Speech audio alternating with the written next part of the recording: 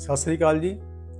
ਮੈਂ ਕਸ਼ਮੀਰ ਲਾਲ, ਸਾਬਕਾ ਸਰਪੰਚ ਪਾਲਣਾ 10 ਸਾਲ ਮੈਂ ਆਪਣੇ ਪਿੰਡ ਦੀ ਸਰਪੰਚੀ ਕੀਤੀ। ਪਰ ਮੇਰਾ ਸ਼ੂਗਰ ਨੇ ਬਹੁਤ ਬੁਰਾ ਹਾਲ ਕੀਤਾ ਸੀ। ਸ਼ੂਗਰ ਕਰਕੇ ਮੇਰਾ ਸਰੀਰ ਬਹੁਤ ਅਪਸੈਟ ਰਹਿੰਦਾ ਸੀ।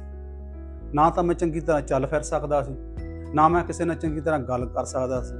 ਤੇ ਮੇਰੇ ਜਿਹੜੇ ਦਿਮਾਗ ਦੀਆਂ ਨਸਾਂ ਆ, ਉਹ ਟਸ ਟਸ ਕਰਦੀਆਂ ਜਦੋਂ ਮੈਂ ਚੱਲਦਾ ਸੀ ਤੇ ਮੇਰੇ ਪੈਰ ਜ਼ਮੀਨ ਤੋਂ ਲੜਖੜਾਉਂਦੇ ਸੀ।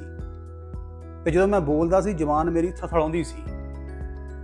ਤੇ ਨਸਾਂ ਮੇਰੀਆਂ ਟਸ ਟਸ ਕਰਦੀਆਂ ਸੀਆਂ। ਸ਼ੂਗਰ ਮੇਰੀ ਜਿਹੜੀ ਆ, ਉਹ 450 ਰਹਿੰਦੀ ਸੀ।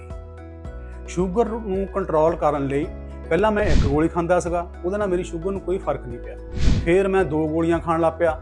ਉਹਦੇ ਨਾਲ ਵੀ ਕੋਈ ਫ਼ਰਕ ਨਹੀਂ ਪਿਆ। ਫਿਰ ਡਾਕਟਰ ਸਾਹਿਬ ਨੇ ਮੈਨੂੰ ਇਨਸੂਲਿਨ ਦਾ ਟੀਕਾ ਲਿਖ ਦਿੱਤਾ, ਜਿਹੜਾ 12 ਯੂਨਿਟ ਮੈਂ ਸਵੇਰੇ ਤੇ 12 ਯੂਨਿਟ ਮੈਂ ਸ਼ਾਮ ਨੂੰ ਲੈਂਦਾ ਸੀ। ਉਹਦੇ ਨਾਲ ਵੀ ਮੈਨੂੰ ਕੋਈ ਫ਼ਰਕ ਨਹੀਂ ਪਿਆ।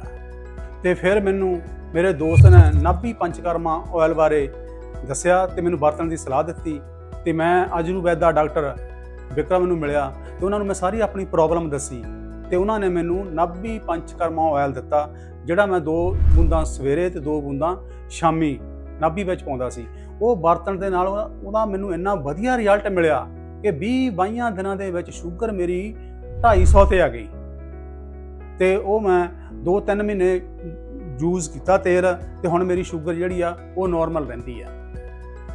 ਤੇ ਹੁਣ ਮੈਂ ਆਪਣੇ ਭੈਣ ਭਰਾਵਾਂ ਨੂੰ ਇਹ ਦੱਸਣਾ ਚਾਹੁੰਦਾ ਆ ਕਿ ਤੁਸੀਂ ਐਲੋਪੈਥੀ ਦਵਾਈਆਂ ਨੂੰ ਛੱਡ ਕੇ ਜਿਹੜੀਆਂ ਆਪਣੇ ਆਰਗਨਸ ਨੂੰ ਖਰਾਬ ਕਰਦੀਆਂ ਆ ਉਹਨਾਂ ਨੂੰ ਛੱਡ ਕੇ ਆਯੁਰਵੈਦਾ ਨਾਭੀ ਪੰਚਕਰਮਾ ਤੇਲ ਨੂੰ ਯੂਜ਼ ਕਰੋ ਤੇ ਆਪਣੀਆਂ ਬਿਮਾਰੀਆਂ ਤੋਂ ਨਿਜਾਤ ਪਾਓ।